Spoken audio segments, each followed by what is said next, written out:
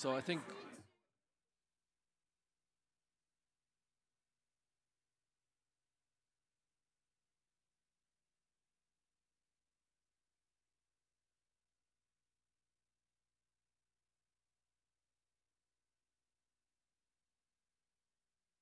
Welcome to our panel on digital twins of the oceans. Uh, we have a great panel here this morning. We're going to have uh, three short presentations, maybe 10, 15 minutes each, from myself, uh, Anne, and also John Siddorn is going to join us online. And then we're going to have two interventions here from Gideon Henderson from the UK and Anne Carroll from Hole. Thank you very much, the two of you and for doing impromptu. You know, we, was a little bit of an organizational glitch, but I'm sure, given that last panel you were on, which is so relevant to this panel, uh, I think you'll see in a moment why your point. So we see John now here. Welcome, John, uh, from National Oceanographic Center in the UK. So without further ado, let's start right in. So that's me, Martin Visbeck. I work at GEOMAR, the Helmholtz Center for Ocean Research in Kiel, Germany. We're a partner in the pavilion, very proud. We missed it last year. We're very happy to be here this year. What a great pavilion that is, and also what a great auditorium we have. So it's wonderful to be here one day after Ocean Day at COP, but I think we're still close, right? So digital twins, in some ways, if you want to just a short quote, uh, they combine innovation and information to optimize sustainable development pathways. That is the gist of what we want you to learn about.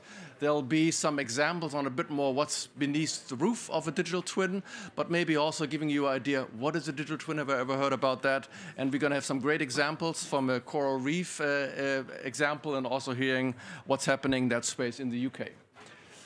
So, colleagues, I think we live in a wonderful time. At least throughout my career, the number of ocean observations that we have available to us are much more than then. So on the one hand, I could be very happy to say that we can see many things in the ocean and it's changing almost in real time. But I can also be very unhappy to see when you go, zoom into a particular piece of real estate, there's still much more to do. So we're halfway there. The same is true for simulation capabilities for the ocean. When I started as a grad student, the ocean models that I looked at, I frowned at them because they never had anything that I could see in the ocean in the model, even halfway, right? And that has changed dramatically. Uh, ocean models are quite good these days. And in fact, I know of some papers that I've been involved in where we discovered a phenomena in the model, went to sea and found it in the ocean. So that shows you where the state of play is these days. So we have an increasing set of observations, we have better models, and that allowed us to do something which I think is fantastic. So we can take the observations and share the data, use the models, and then to produce knowledge. But the way we do it today, we do it on the digital world. So we take the real ocean and reproduce it in the digital space. And in engineering, they're called that digital twinning. That is a word that is not invented by the ocean science community, that is invented by engineering. The saying is it was part of the Apollo program. The saying is when the lunar lander, they had a digital twin of that. When they asked the cosmonauts to pull a switch, they didn't want to try it on the moon, like in real time. They did it first on the computer and see would that be a good switch to throw if it was out of the planned mission, right? So that's what they say. Today, digital twins are used for designing cars, airplanes, railway systems. They're hugely popular in cities, city development, but somehow they're not so popular yet in the environment, and that's what we're trying to socialize here. So, um, okay. I am due. Press the right button. I've been here before. Can my technical team try to see what goes wrong there? Oh, okay. So digital twins are something that is designed by the scientific engineering community, but I think they can be extremely valuable to governments for marine spatial planning. They can help civil society to understand more fully what's happening in the ocean. They are used a lot in the private sector and their interactions with the ocean, and I do think they can play a role in educational activities technically speaking, digital twins solve a boundary uh, problem, boundary problem. They don't solve an initial value problem. The initial value problem is what you do in forecasting. You know what the ocean is today. You take the dynamics for it. We call it a forecast. In twinning, you say, what if I change the boundary condition? If I intervene, what would the ocean do then? So it's not a forecast, it's a scenario generation tool. It's something you optimize interventions. And the most famous digital twin at COP is this one. The question, the what if question is what would the global temperature look like if you put a certain amount of CO2 into the atmosphere? And the way you solve that twin problem is you take an Earth system model in the middle, you put your CO2 emission scenarios in, and then out comes many things, including a global mean temperature.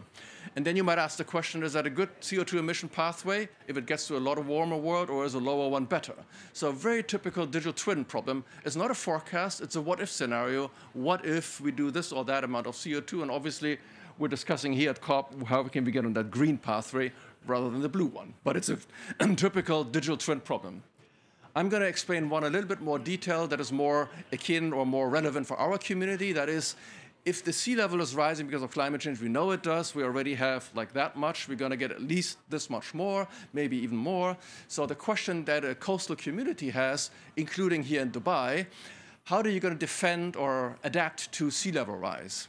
And there's many options. You can build a dam and dike. That's what my country does. Here, you can think about maybe protecting the corals or maybe even growing more corals would one solution. The Netherlands put sandbars out in front of their dikes because that they can reduce the wave onslaught. You can also use nature-based solution like seagrass for that, or you can retreat. So these are just four or five different options for Dubai to deal with climate sea level rise. So the question that your developer in Dubai might have is, what is, works for me? What's my best option? So you take the projections, you regionalize it, localize it down to the city planning level, and then you just see how it plays out at the local scale, your defense mechanism against sea level rise. First thing you want to learn, will it do the trick? So is it effective? Next thing, can I afford it? What's the cost around it? Is it socially acceptable, whatever I want to do? And, and the last thing is, in some ways, is it ethically okay, right? So there's many dimensions around that that you can play out on the computer, look at full scenarios before you go into the field and implement that. Now, sea level rise is a slow process. It's more about capital investment 20, 30 years into the future, so verification will come slow. You know, so you must do it on the computer. It's the only way you can really future-proof that.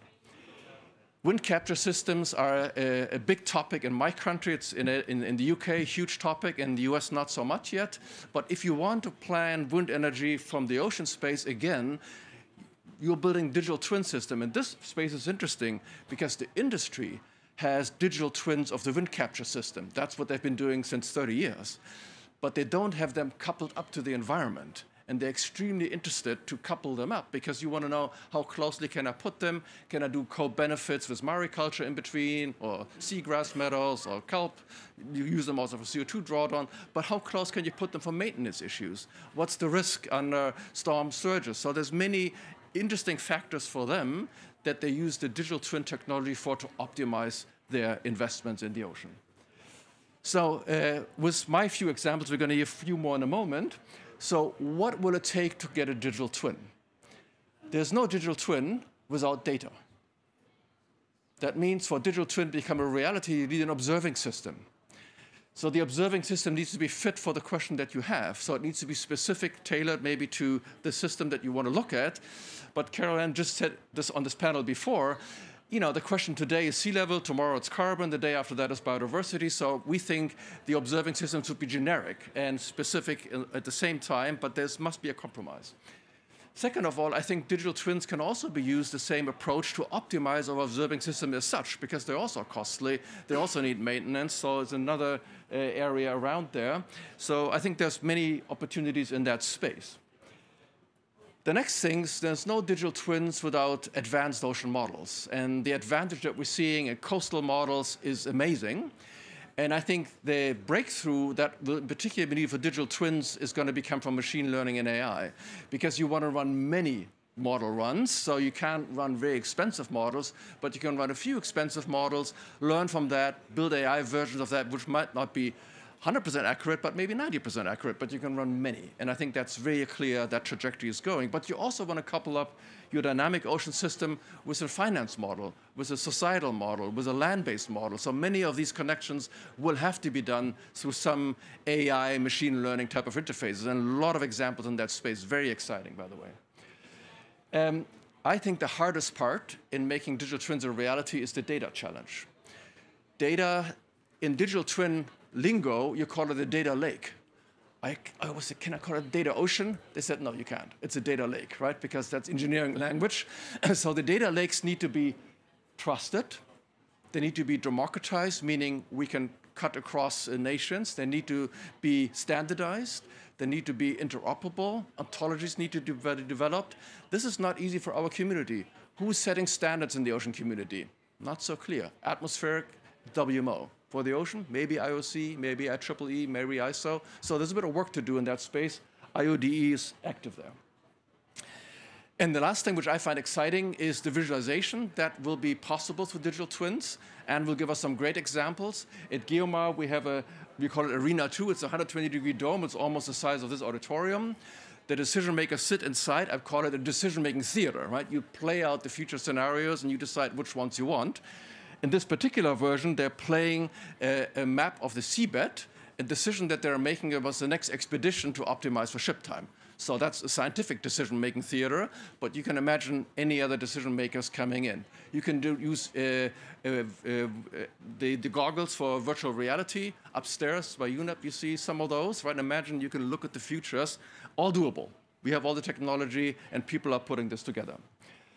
So this is a popular topic as of the last two years. I'm running a program under the UN Decade of Ocean Science for Sustainable Development called DITTO, and as part of that, the UK joined and so on. And we had the first summit uh, last year, thanks to the G7 initiative from the UK in London. It was a wonderful summit, 70, 80 people there across the sectors. Really great discussion. Gideon was there. Thanks for being there with us then.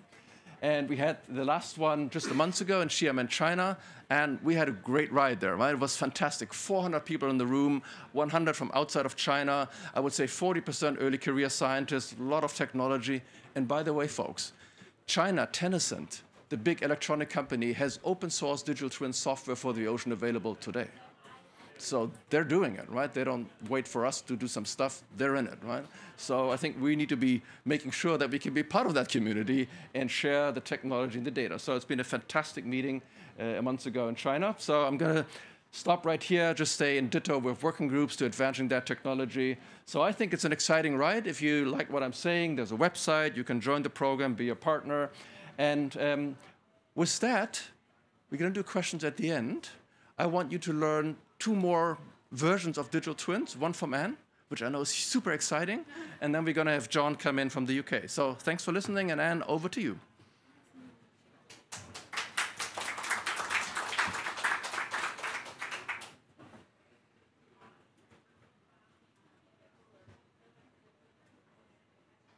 Thank you so much. From a scientific perspective, as a scientist, the fact that a tiny, tiny organism that doesn't have a brain, the size of smaller than your fingernail on your pinky finger, can build vast underwater jungles that can be seen from space is absolutely fascinating as a scientist. The shock and awe, though, is the fact that thousands of coral reefs spread across 112 tropical countries, taking up less than 1% of the surface area of the ocean, are supporting the livelihoods of a billion people around the world. That's one eighth of the global human population. And 25% of all species in the ocean living on coral reef ecosystems, breeding on coral reef ecosystems, finding a safe haven in coral reef ecosystems at some time in their life cycle. That's an incredible achievement for a tiny, tiny creature in the ocean. Unfortunately, we are now witnessing the unprecedented decline of coral reef systems all over the world. It is estimated that we've lost about 50% of live coral reef surface area in the last 40 years. A lot of it due to the combination of climate change, especially the intensification of heat waves, and human exploitation of these systems.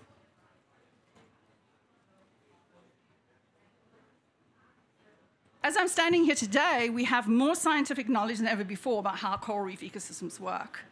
We have more investment from philanthropy, from governments, in coral reef conservation, coral reef restoration, coral reef management.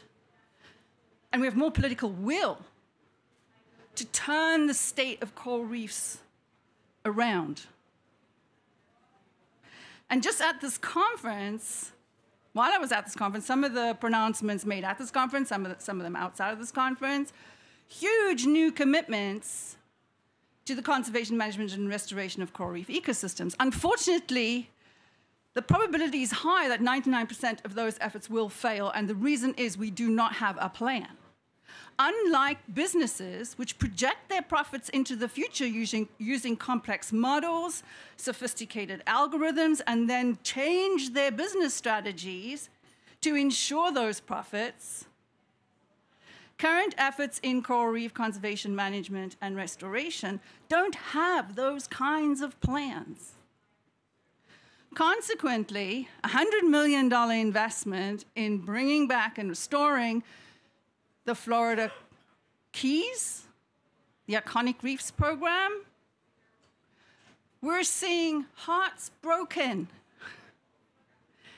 hopes dashed, because beautiful coral farms set out by sincere, passionate, driven people succumbed to the 2023 heat wave. Everything died.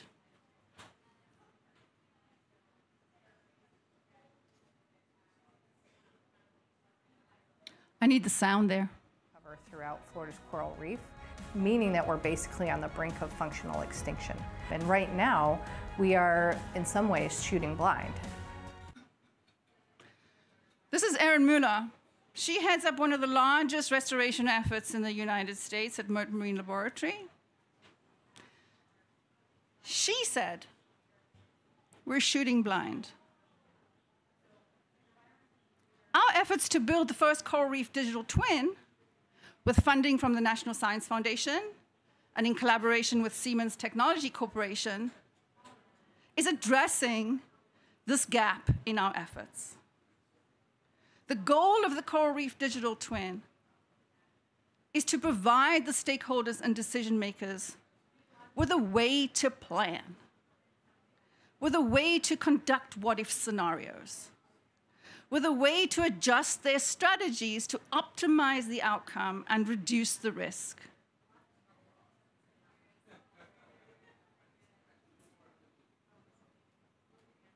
I want to give you an example and this is where we first started building our Coral Reef Digital Twin. I just want to tell you, we're 18 months into this effort. It's brand new. And we're starting in a tiny coral reef atoll in the middle of the remote tropical Pacific. And the reason we started there is because it's tractable. It's a tractable place to start to develop a prototype. This is Palmyra Atoll, and that yellow dot there in the middle of nowhere is where it is. It is a US National Fish and Wildlife Refuge. The only problem is, with our refuge, is that in, the, in World War II, the US military occupying Palmyra at the time built causeways across the lagoon. You can see this one here and connected the outlying islands that reduced the exchange of water between the ocean and the lagoons, and this causeway reduced the exchange of water and larvae across the lagoons. So essentially, the abundance of life in Palmyra's lagoons, which take up the majority of the coral reef ecosystem, nothing there. It's all dead. So the US Fish and Wildlife and the Nature Conservancy, which are now charged with bringing back Palmyra to its pristine pre-World War II state, approached us to assist them with a plan.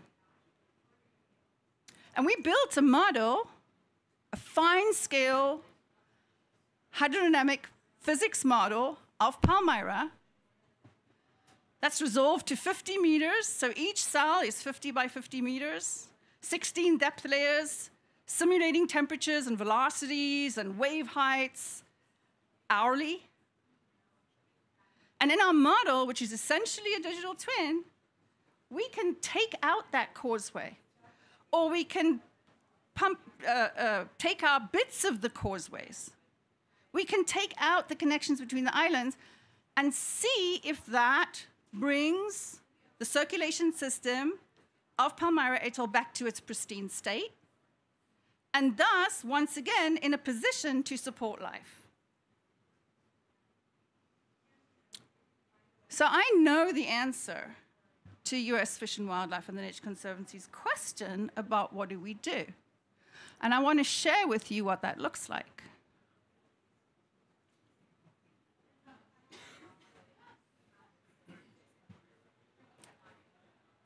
And I also want to share with you a confession that I don't understand that either. I need some very clever engineers to convert that code into nice visualizations for me. And that's what gave me the idea that we need to do this for the stakeholders. This is not enough.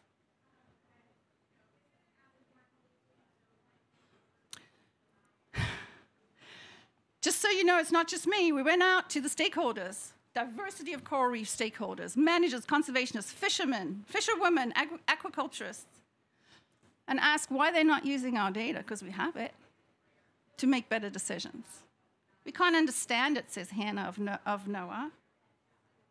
We can't use it to make decisions, it's unactionable.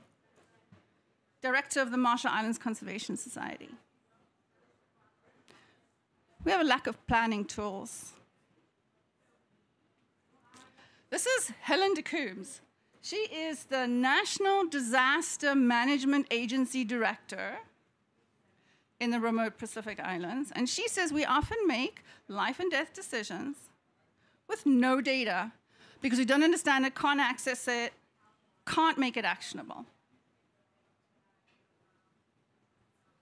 I'd heard about digital twins, but didn't really take them seriously because it, they haven't really been incorporated into the environmental sphere.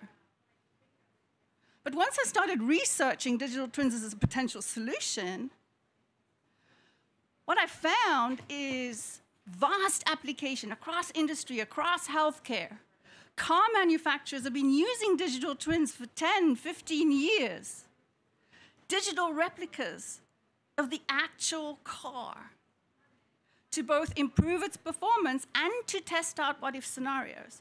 So instead of, you know, those videos where they ram in the car with the robot or the model into a wall to see the impact of the, on the human, well, now they don't have to destroy the car in the process. They're actually just doing it in the digital twin. And so we said, well, why don't we build a coral reef digital twin?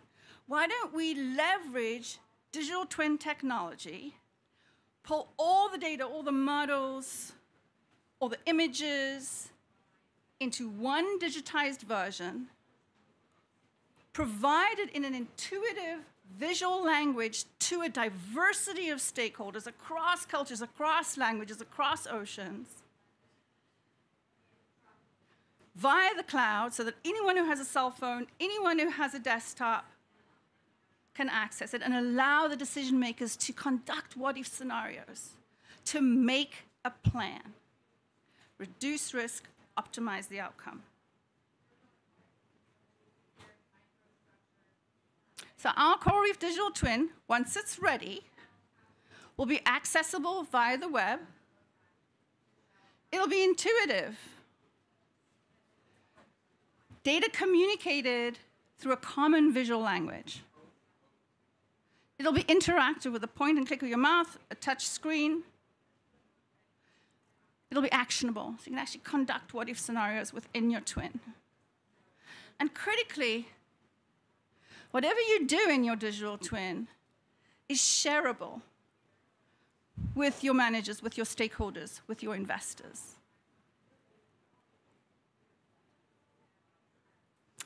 So I want to show you where, you are, where we are in our prototype development. This is me accessing the Palmyra digital twin from the cloud for the very first time. I'm not very good at it. And there are some bugs, so I had to slow down my, my mouse. But this is Palmyra without any water. So you're seeing the atoll bathymetry with the lagoons. It looks blurry to me, but is that my eyes? Okay. And I can rotate it and I can zoom in and I can zoom right in to 50 meters resolution to see the places that I'm interested in. Here we've superimposed, and, the, and the, the user has the option to superimpose the satellite imagery, the Google Earth satellite imagery on top of the bathymetry.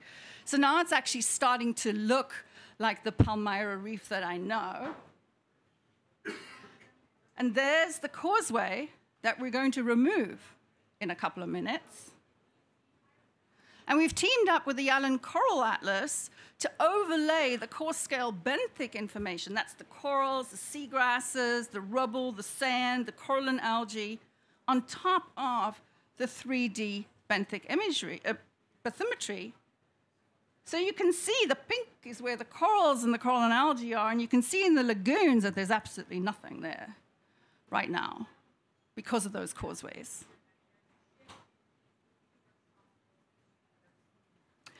And then what the user can do is can run a temperature simulation or a velocity or a current flow, wave height, wave energy simulation in the twin.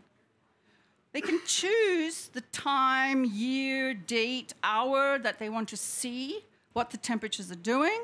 And because the twin is three dimensional, they can choose the depth that they're looking at. So here in this uh, snapshot, you're looking at one meter below the surface in Palmyra, and you can see. I don't know how to use the pointer. This is the causeway right here. You can see the buildup of heat. The buildup of heat just inside the causeway, and that's because the causeway blocks the flow. So there's no exchange of cooler ocean water in there, so the heat just builds up and kills everything in the lagoon.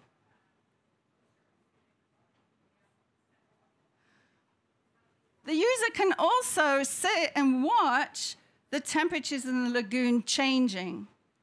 Choose any spot on Palmyra, any depth, any day, past, present. We can even project into the future and watch those temperatures change with the press of a button. So now I'm going to show you how the user can conduct a what-if scenario. And I see Martin's watching his phone, so I'm running out of time here. Uh, but where the yellow uh, arrow is, that's where the causeway is. And I'm showing you a different simulation, a different period of time in the life of Palmyra. So the water temperatures, which are shown in color, are slightly different. But you can still see right there, the red blob of heat that's building up in the lagoon because the causeway is there. Now, the user can go in and can remove that causeway or parts of the causeway or add a new causeway and see the effect of that intervention or those permutations and combinations of interventions on the circulation in the lagoon. So here we've reduced the heat buildup in the lagoon significantly by taking out the causeway. And if we used our depth slider, we could see that the lagoon is cooled all the way down to the bottom at 80 meters depth. Okay, so we've convinced the US military to come in and conduct an intervention because we can show them now what those interventions will look like. We can reduce their cost. We can optimize the outcome by conducting a number of simulations. So they've removed the causeway, we've, we've uh, gotten the circulation back to its pristine state. The reef is ready for new life to take hold, but it needs a bit of help because nature's kind of slow. So we want to bring in our restoration techniques. Now, one very important consideration in restoration is where to put those restoration plots, which are expensive and very labor intensive. We want to put them in places where the larvae that are released from those restoration plots are going to stay within the reef system and not be swept out to sea. So what the user can do in the digital twin is choose some places. Run simulations to figure out where's the best places to invest restoration effort. This is a larval dispersal simulation that the user can conduct in the digital twin from wherever they want in the coral reef system.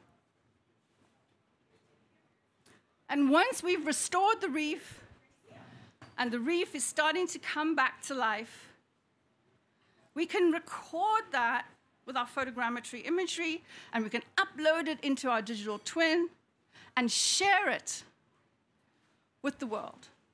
Share the success of our planned interventions with the world.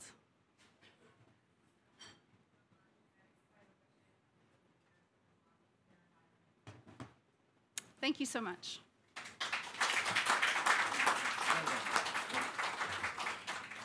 What a fascinating insights into what digital twins can do for you and imagine your application coming to life. So before we go to questions, we have another short presentation from John Siddorn. He's joining us virtually from the UK. So John, I'm very, I know you're there. Now we can also see you. We can, we're going to get the slide deck back in a moment. And you just say next slide, John, and then I think it should be running smoothly. Um, it takes a moment to get to the right place here till your first slide shows up. Still have that great car. It's Dubai, right? The city of cars. Okay, almost there. Yeah, two more. Uh, okay, John, there you are. So we're going to presentation mode. John, over to you. Great to have you here virtually. Morning, Martin, uh, and morning, everyone. Uh, it's slightly strange to see myself reflected back with a two second lag, so hopefully this is working okay. Um, it's a great pleasure. Uh, I, am afraid I can't see my slides, so is there any way I can see my slides as well as myself on the screen, please?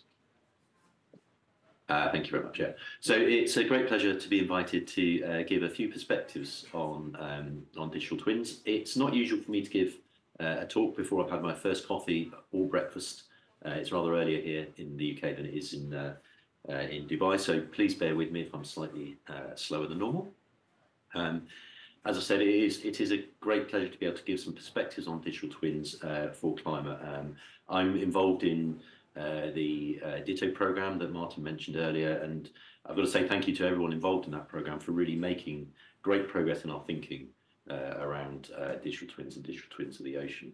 Uh, so a lot of what I'm talking about today will have come through conversations and and thinking done within that community. So could I have my first slide, please?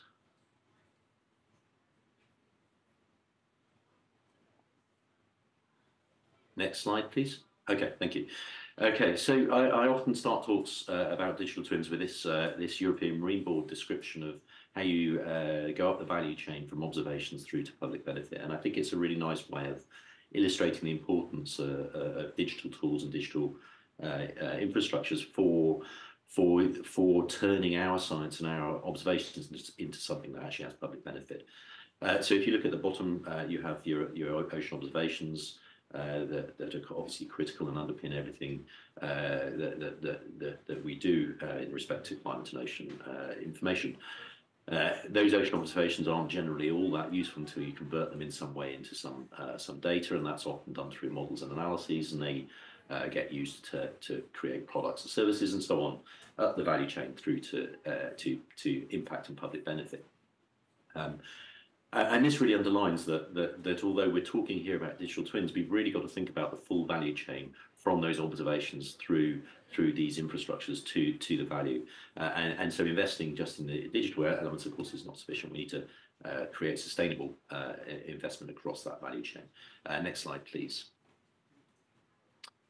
Uh, yeah, uh, sorry, if you can just go back one second to the to the to the the bit with the DITTO logo on it. The point I'm just really trying to make here is that uh, digital twins encompass that gap between observations and public benefit, and that's and that's really why we're so excited about how they they potentially could lead to to, to value add in, in in in the ocean and the climate space.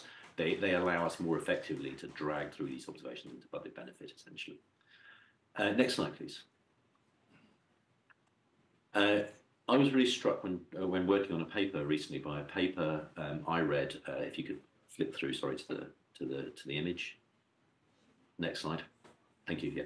So this is a this is a paper uh, by Georgia et al. This is not a paper by someone from the oceanographic or uh, climate community. It's a paper from uh, the social sciences, and uh, there are two there are two bits I took away from this paper which I'd like to emphasise today. One is the the the emphasis that society and societal actors are really in a position where they're really ready to take on a, a role in engaging with environment and environment information, and they really want to to to, to know what to do next in terms of climate and, and so on.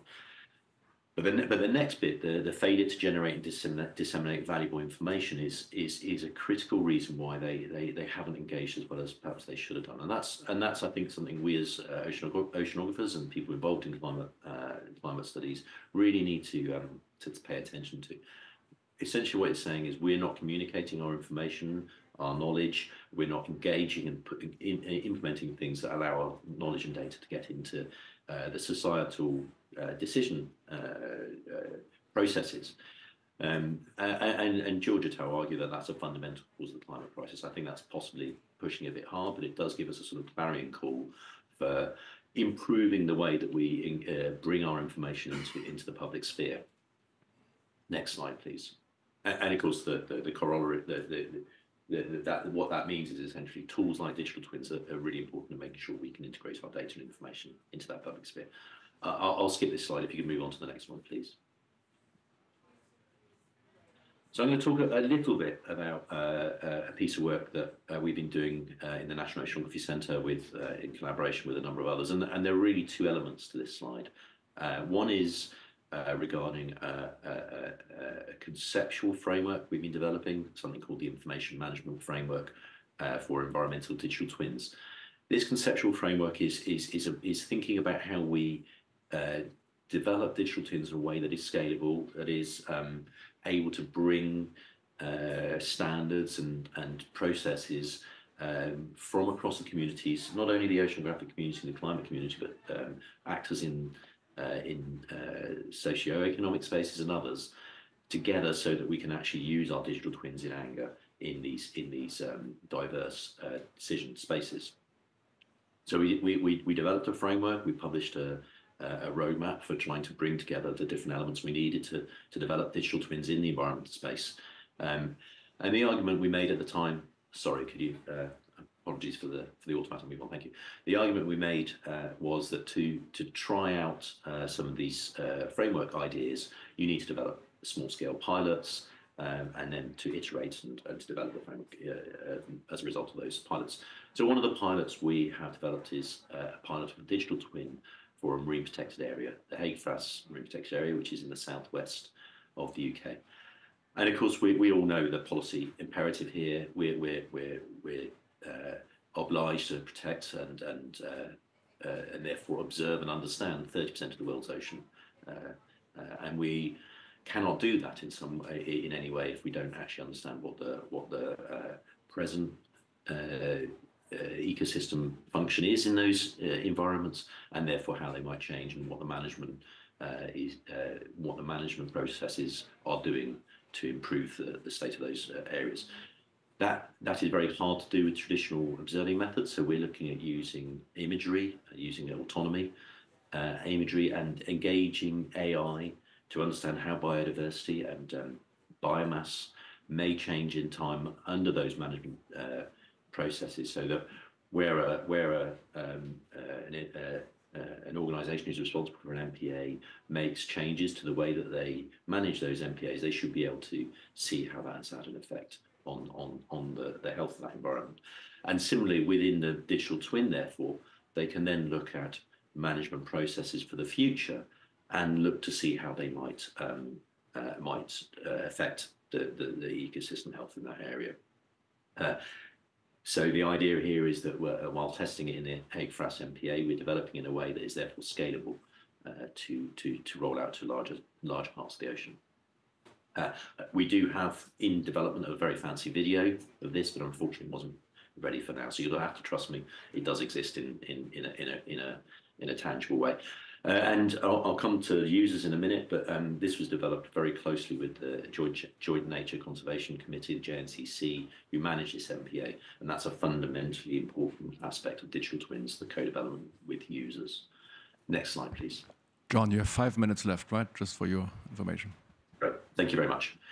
So I, would like to talk a little bit about some key challenges uh, that I think we need to pay pay attention to uh, uh, when building digital twins. The first and for, one, the first one is, uh, as I mentioned, uh, understanding user needs, and Anne has really clearly articulated that. Uh, we, we, it is hard to understand user needs, especially when you're coming from very different perspectives. But there are communities out there who are much better at doing it uh, than we are. And I think one of the things we learned from the work we did is is how do we bring in new partners and new collaborators that bridge the science we do uh, with the work uh, that the users need us to do. And that doesn't mean the science community is not important. We are there to provide the assurance uh, that, the, that the data and the information is valid, but we, but we need to work with other people to make sure it's, it's integrated well. And then the other piece of um, uh, the other thing that we, we re, re, really came to understand quite clearly is that when we're talking about digital twins, really users don't care about whether a digital twin is one of the ocean or, uh, or, or, any sort of descriptor like that they have a very diverse need for information. So if we're going to build real decision tools, we really need to be working with people across a wide range of different thematic uh, areas. So that will include ocean and maybe atmosphere and so on, but it will also include economic, social, um, and so on. So we have to work with a diverse, community. Next slide, please. Uh, one of the unique things that we, uh, oh, this slide looks very blurry from my perspective. One of the unique things we, we, we also uh, realised about the about the ocean, particularly, but the environment more generally, is this challenge of scale.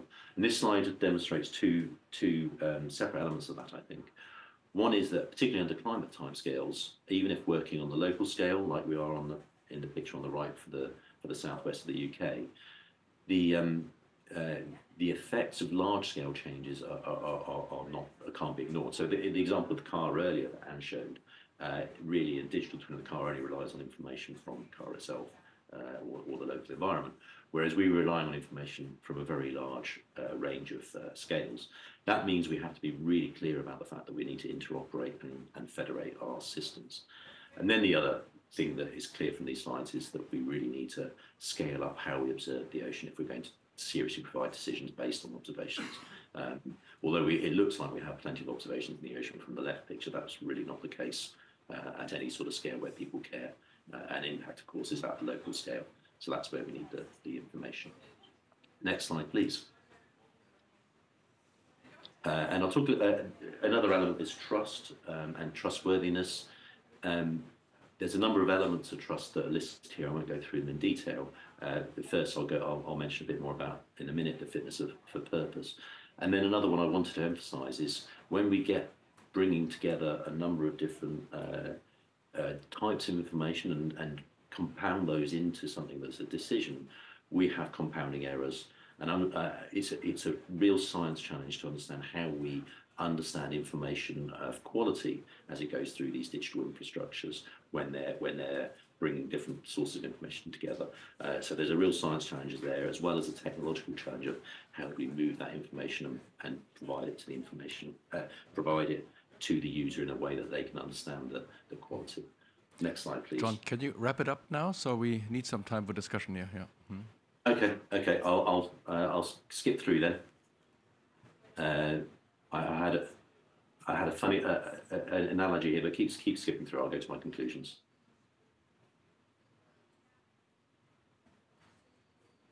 This was a very funny slide with a great a, a, a great uh, a great message, but anyway, we'll ignore it.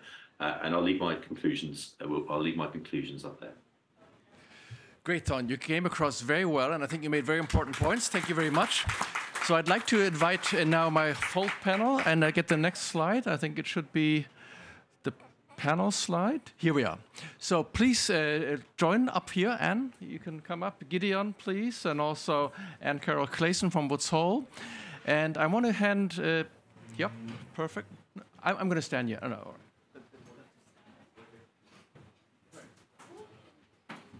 All right, so we have a wonderful panel here. And I've actually very happy, Gideon, to have you here. Should I disclose that we've been postdocs together at Lamont? Ages ago when we were both kids, right? so it's too late not to.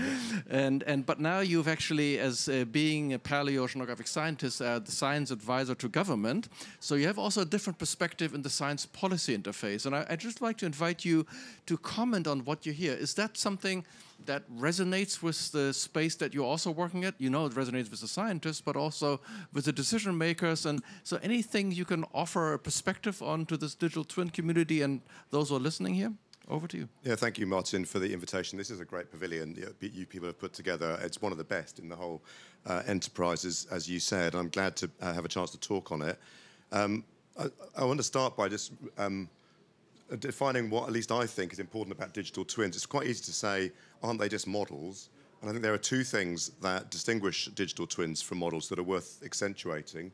One of which that you said in your comments, Martin, is that they in, they imply that we are we are interacting with the system that we are twinning, and that we what we're interested in is how do our interactions make a difference. So we saw some lovely examples of that um, from Anne, from um, Anne and um, John earlier. Um, the other thing that's really critical about digital twins is that they have a very close interaction with the data, and this sort of digital, um, cyber, physical link up I think is is really important here as well. And we need to recognise both both of those things. So I really like the fact that, that the efforts that we've seen today and the way you've described it is is focusing on both of those and also not trying to do global all at once, try, trying to boil it down to where are the individual problems, local problems, where we need this sort of infrastructure, this digital twinning infrastructure, to really um, to really move our thinking forward. Um, and, and, I'll talk just a little bit in a second about how we need to join those together. Um, I did want to say a couple of things about DITTO, though. Um, I'm lucky enough to be on the UN Decade Advisory Board, and I've always been concerned in that situation that the decade will just become a, a collection of all the different things that think they ought to be part of the UN Decade, and the whole will not be some, uh, greater than some of the parts. But I think it's programs like DITTO as an absolute flagship that are really doing more and making the UN Decade achieve something by joining things up across a, a great area. So I really thank um, I thank you, Martin, and GEOMAR for the leadership there. Um, I, I, also um, want to point, point, out a couple of things that the UK has done to support uh, digital twins in general. The G7 initiative, the Ocean Decade Navigation Plan, agreed in 21, you um, showed the first two meetings that have really come partly as an outcome of that and as part of UK's support and recognition at a policy level in response to your question about why we need some of these activities. And I, on the data side, finally, before I, I close, uh, data is going to be absolutely critical. All the speakers have talked about that already. Uh, we're going to need um, that as perhaps the biggest challenge to face, as you said, good data formats, good data, uh, metadata, good sharing agreements, and recognizing that these are challenges that are faced well outside the ocean community, and we need to be linking this up in digital twinning efforts much more broadly. And there's some quite big UK policy-facing efforts to think about how we can join up the data and bring together some of our, our twinning across all different domains. But thank you for the session. Thank you very much, Gideon. That was a very helpful perspective. Carol Anne, you were just on another panel just before this one talking about the blue economy. And I think you made a very important point there. I mean, in that other panel, if there are issues, I mean, depending on the flavor of the day, it could be around shipping, it could be around fisheries, it could be a wind capture system, could, also be about marine CDR. So we had some discussion at that panel. And Carol Anne, you, you sort of made an interesting comment that I enjoyed, that, the ocean is a system, you know, we need to be prepared as a system. But in that thinking, where do you see digital twins play a role? What, what, what, what would your reaction be, coming from Woods-Hole and Oceanographic Institution, hearing the blue economy folks say things? You know, is, is that an opportunity for you? I do. I, I believe that it is. Um, so one of the things that I do is I I do consulting for various companies, and some of the things that I find very interesting about that that work is that they are very sophisticated in many ways, um, and, and, sophisticated in ways that perhaps we don't think of. So one of the things that was most interesting to me is when I was starting to do some um, predictions for the companies, is that they were very comfortable with the idea of what I give is a plethora, basically a probability distribution function, or essentially you know, 80% chance of this, 20% chance of this, 10% chance of this, because they think very much in terms of risk, right? And so there was a you know a lot of discussion about all right, so what are the options of this happening which would cause my company to have this problem in the wintertime? And they didn't just need one number. They appreciated seeing sort of that what we thought of as the distribution of possibilities and and giving them that information. Some of the digital twinning effect, in fact, gives you the possibility of, of providing that, right? So saying to them, yes, not just this will happen next, you know, next winter. You will have X number, in a particular case, X number of days below a certain degree, right? Um, but what's the what's the likelihood of that? And so the digital twins part of that is that it gives you some of that capability to actually look at that and say run a number of scenarios and then be saying here's here's a distribution of possibilities with some again scientific guiding and backing behind that. Not just anything might happen but what is most likely to happen? But what are the odds of some of these other unusual things? Because they were very able to put that into their risk analysis and their cost analysis and say okay based on that we will put you know we will we will put shares into this and we will put shares into this and then we will you know we will guard against this. Um, and i think that that's one aspect that perhaps i didn't appreciate before really working with industry was that their their sophistication on certain levels that we sometimes think we'll just give them a number all they want is a number. And that that wasn't true. They want this variety and this capability Thanks for sharing that perspective. I'm going to open it up now to the audience, and uh, if any of you has a question for any of the speakers, the whole panel, please uh, raise your hand. We have a roving microphone. Many questions. Okay, so can we get the microphone? I think we need to use one of these here. And We have five minutes left, so can be short on your question. We pr I promise we'll be short uh, on the answers too. All right, so I'm trying to be quick. Jim Edson from Woods Hole Oceanographic. Uh, I, I'm trying to become a fan of digital twins, right? But Gideon had talked about, you know, this is what how people perceive digital. They're just a model. But let's face it, you need sophisticated Earth system model or a high resolution hydrodynamic model with biogeochemical components the idea, how's that, you know, the idea is to initialize that model with as much data as you possibly can, run case studies, and then look at that with visualization tools. Is that digital twinning, or is there something more to it than that? I think you almost got it right. There's one important step, I think Anne mentioned to that, and the step is intervention optimization, right? So what Carol showed you is an example where you want to take out the causeway, yes, no. That's the twinning thing in ocean forecasting, we're looking at the environment, what comes your way, you know, by storm surges, and things like that. That's a forecast. But in twinning, you want to know if I act, is my action going to have a positive outcome or a negative outcome? So is my intervention optimal, or should I do something else, right? Can I just say, yeah. that's just changing the boundary. Exactly. But that's so, okay. So exactly, that's, and so that's in exactly a, what they're. In, in engineering terms, I think what we're actually talking about, to be honest, is a digital shadow here, which is, a, I, mean, I don't, know, don't, know, how much you've read the literature on this sort of stuff, but there, there is a, there's a technical difference, and really a digital twin is one where the data and the, and the physical um, world and the model are so intertwined that, you, that it's happening in real time, and you can adjust. Imagine what happens if you flick a switch to the whole system um, in real time. Um, that's not quite where we're getting with environmental digital twins. Um, but we're definitely going a step further than we are with models that we've um, developed up to this point in the fact that the, the, the close interaction with the data, um, the ability to really test out in detail specific questions about what it is you want to try and intervene to solve, and then to look at future scenarios, I think is, is a step um, towards that digital twin model that takes us beyond simple models we've used so far. Can I just add to Can that? I make a comment? Yeah, please. May I? Hi, Jim. That was a great question, and I'm dying to answer it. So, everyone in this room has a weather app on their phone, and weather it, the weather predictions are models, right? That are simulating data and getting better at predicting the future closer to the time. They models, but everybody has that on their phone. How many people in this room, at this conference, or in this world have your ocean model on their phone and are using it to plan their day, to plan their coral reef management, to plan shipping distribution lanes, to plan a railway, to plan. How many people are using our ocean models for that? Yeah, that's one way. Tell in- me. yeah. In the scientific community, they are, but I will say that nobody has that on their phone in the in the equivalent of a weather app. Okay, And we we're need gonna- to do that. We're going to go to the next question. Great conversation. You can have uh, follow on on that. I just want to say there is shadows and twins. The twin that I know of is managing a mariculture system, where the data come in and actually make decisions on the spot. So it's a real twin That's a good in example. mariculture, but many of them are shadows. But I want you to ask the next question. I think John wants to say something on Oh, the- well, I, I want to go to the next question. Sorry, John. We'll, we need to manage time here. So many questions here, John. You get the answer in a moment. Yes, uh, Yeah. Isla- Islam Os- no, no, go, go, go, go. You go, and then. Islam you Osman go. from CAST. So a great talk, by the way.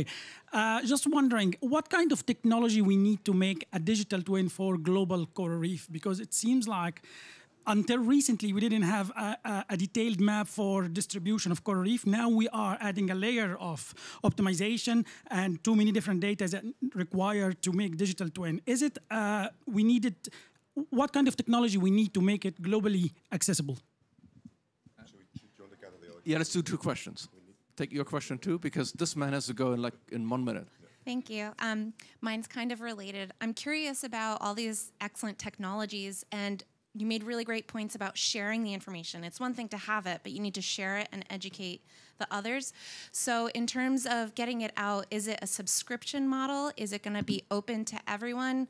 Um, and then, in terms of just sharing the information, we also need to story tell and convince. You know, we can't just share different data points. Um, so, how do you get it to the decision makers? Um, that's my question. Two Thanks. quick answers, Anne and John. Anne? You both raised the perfect points. And the whole reason that we built the digital twin was to put the data, the information, the decision making tools in the hands of those folks on the ground. It's no point having it in our magnificent scientific institutions where we do tremendous science and make tremendous discoveries. We have to put it in the hands of the, of the decision makers. And that's why we've built a digital twin that's really accessible, really intuitive, click of a mouse, using gaming engine platforms. Because we watch our kids play video games and that's how they learn. To scale, we, we are building a prototype, and the goal of the prototype is to be transferable to different coral reef ecosystems. As Jim says, the fundamental, the base layer of the coral reef digital twin is a high resolution physics model. So we need high resolution physics models for every single coral reef ecosystem for which we want to build a digital twin. That's where the real work is, and that's where we're going to need to bring AI into our development strategy. Thank you. And John, you want to add to that? Yeah, very briefly, there, there are two elements to your question, I think. The first is um, how do we engage the users and make sure that they're actually using it? Um, so sharing is fundamentally about making sure the users get what they need to answer their decisions. Uh, and I think that's where the, the previous question about models uh, comes in. If you don't give the users what they're actually asking for, if you develop a large scale model, for example, but it's not actually integrated with what they use, you're not developing a digital twin, you're developing a model. If you're developing Right. a model that can actually pass information, that's really important. But the other element of that, there are technological challenges around interoperability and, and ontologies and everything that are really key to making sure that everything is shareable at scale.